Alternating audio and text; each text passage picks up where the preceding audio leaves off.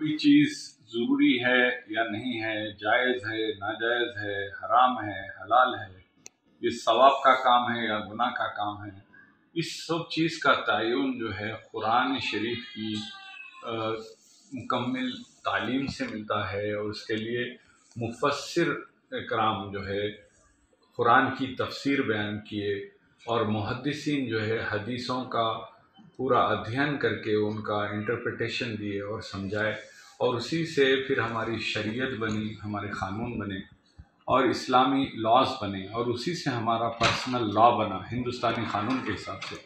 تو اب آج جو ہے کورٹ یہ کہہ رہا ہے کہ یہ حجاب اسینشل پارٹ آف اسلام ہے یا نہیں ہے۔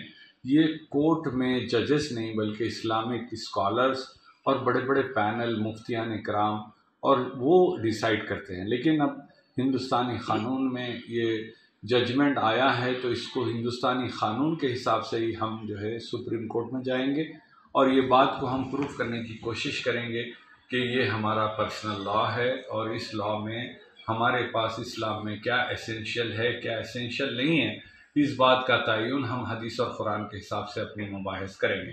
کورٹ کا ججمنٹ فائنل نہیں ہے انشاءاللہ سپریم کورٹ میں جائیں گے۔ رہی بات دوسری اسکولس میں یقیناً ہندوستان میں یونیفارم تھا اور یونیفارم رہے گا، لیکن جونیئر کالجز میں اور ڈگری کالجز میں کبھی بھی یونیفارم نہیں رہا۔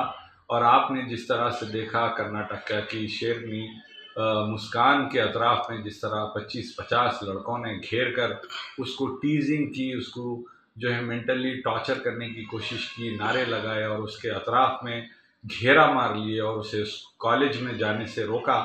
یہ لڑکی کوئی اسکول کی اسٹوڈنٹ نہیں تھی، بلکہ ڈگری کالج کی اسٹوڈنٹ تھی اور اس طرح سے حرکت پھر بھی ان پر قانونی کارروائی مکمل نہیں ہوئی۔ یہ خود افسوسناک بات ہے۔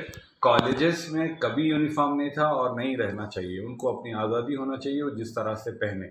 اور رہی بات، آپ نے دیکھا کہ ٹیچرز کو بھی برقع پہنایا جا رہا ہے۔ برقع پہن کر آنے والے ٹیچرز کو گیٹ کے باہر ان کے برقعے اتارے گئے۔ یہ تمام چیزیں سوشل میڈیا پر اور نیشنل میڈیا پہ آئے۔ اس کی میں سخت ترین الفاظ میں مذمت کرتا ہوں۔ یہ صرف اور صرف پولرائزیشن کرنے کے لیے کمیونٹیز میں ہیٹریڈ بڑھانے کے لیے اس طرح سے اقدامات کر رہے ہیں۔ یہ یہ گندی سیاست ہے، جس کی میں سخت ترین الفاظ میں مذمت کرتا ہوں۔ اور سپریم کورٹ سے امید رکھتا ہوں کہ سپریم کورٹ ہماری بات سنے گی اور یہ، اور ہمارے حق میں فیصلہ دے گی۔ Bye.